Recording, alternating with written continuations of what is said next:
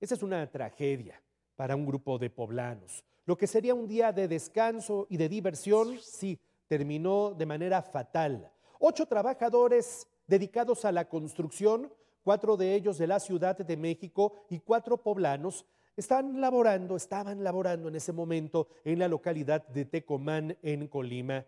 Llegó el domingo, el día de descanso, y por ello fueron a la playa Boca de Pascuales. Seis de este grupo entraron al mar, pero el poblano Manuel Fermín, de 24 años, ya no logró salir. Esto sucedió el domingo. Inmediato comenzó la búsqueda de Manuel, pero no lo encontraron. Cayó la noche del domingo, se suspendió la búsqueda. Ayer lo estuvieron buscando, pero tampoco lograron rescatar su cuerpo.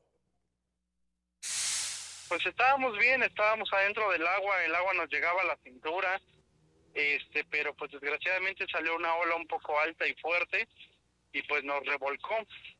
Desgraciadamente uno de, nosotros cuatro, pues este, el agua lo metió hacia adentro.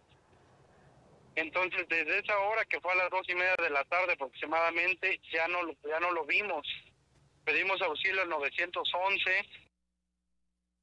Sobre este accidente, el gobierno del estado informó que Manuel Fermín González es originario de Huejotzingo. Confirmó que sí, fue arrastrado por las fuertes olas del Océano Pacífico. Además dio a conocer que las autoridades poblanas se mantienen en comunicación con la familia para brindarle apoyo, seguimiento y acompañamiento en esta, en esta historia.